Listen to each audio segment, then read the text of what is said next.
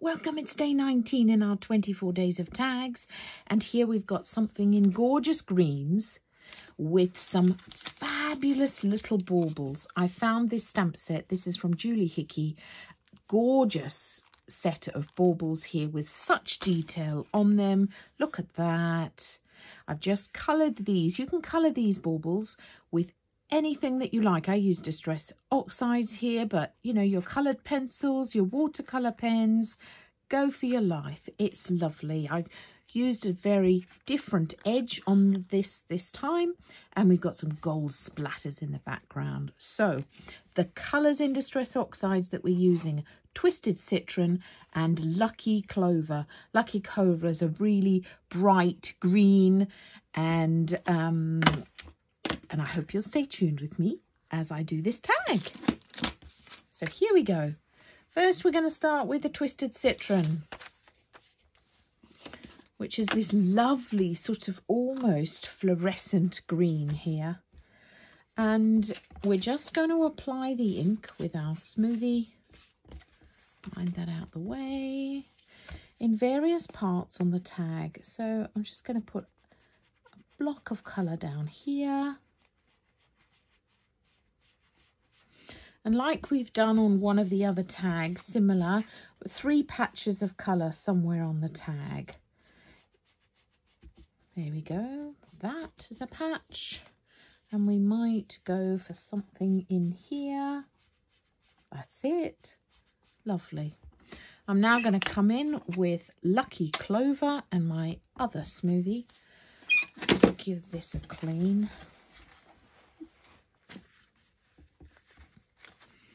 And I'm going to bring this again up the side here. Just making sure that you get a nice even coverage of the colour. We are going to put some splatters on it to create a bit of extra texture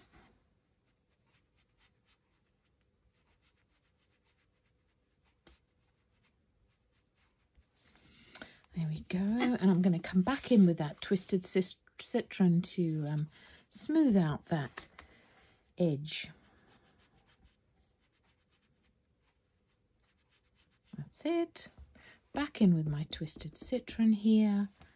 Let's just, there you go. See? So it didn't really matter that we hadn't got a, a smooth edge. So when you're blending it out like that, you kind of need to press a bit harder to make sure it sort of all melds together a bit. Lovely. I like that. I like that.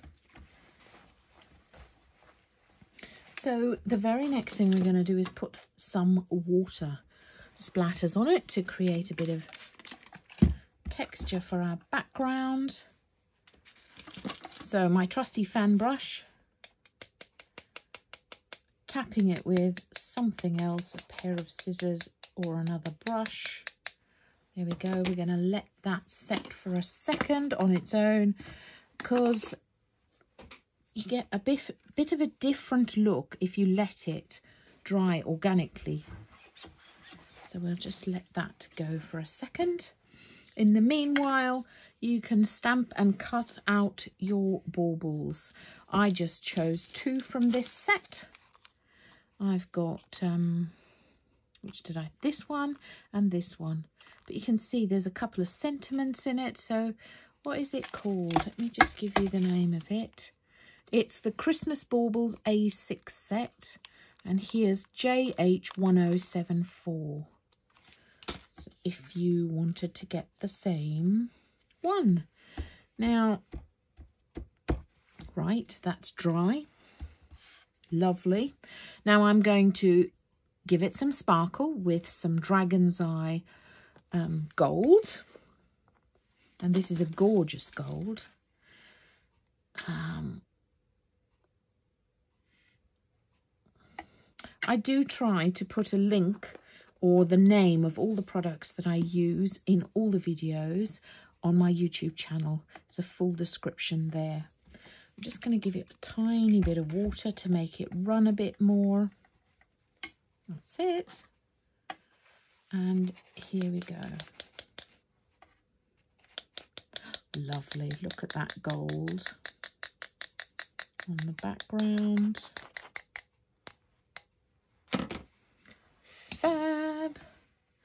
I'm just going to clean this off with some water here.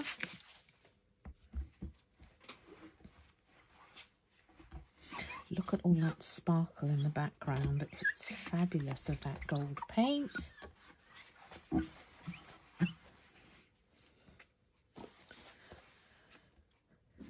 And then I showed you how I did some of my reinforcers on the earlier tags. So I just used a bit of card and Lucky Clover, which I coloured with my smoothie. And, and then I punched one out. I'm going to pop that in the top of my tag like that. Now, before I move on, I'm going to give that all a blast with a heat gun because I don't want any smudges. Now, as I was blending that, I've got a bit of green ink on the back of my tag. And if you didn't like that look, um, or if you were going to, some people write how they did it on the back of the tag. Alternatively, you can back it with another clean tag um, to get away uh, rid of some of that. Now, let's put our lovely, so I've stamped and coloured my gorgeous baubles. I might do this one actually. Um, and there you go. You want to lay them out. Now, before I stick them down, I'm going to come in with my black pens. You can use a Posca pen. Um, I quite like these. They come. You've got four in this set, and I'm actually going to use the fine one. I'm going to kind of figure out where I want them to be and hold it in place and then I'm going to draw a strand right up to the top. You can see no ruler, you are just going to eyeball it because strands don't ever go very straight. Now, to get your little bow, that's all you're going to do. Again, Bows are not often perfect. And look at that. So again, a little loop there, a little loop there, and some strands coming out of it. And then I'm going to stick it down with some glue.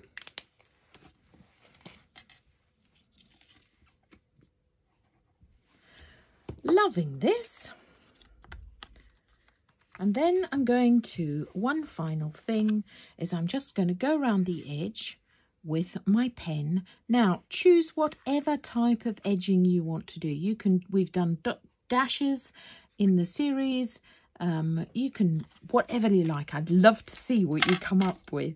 But for me, I'm just going to do a bit of a wiggly line. Again, very free form here. Uh, a couple of millimeters from the edge of the tag. And then I'm going to come over with a second line. You can see, let's do it in a wiggle. And if it bumps on some of the gold paint, that's no worries because you don't want it to be straight. And then I'm just going to wiggle around it with the second line. not overthinking it. Look at that. That's really quite effective, I think. But if you don't like it, I'm I'm super excited to hear to see what designs you've come up with for the edge of your tags for this one.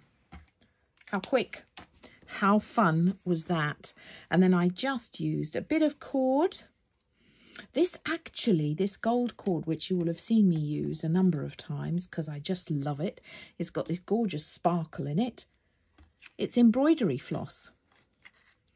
So anything, look at that. There we go. Today's tag. I'd love to see your makes. And until tomorrow, bye for now.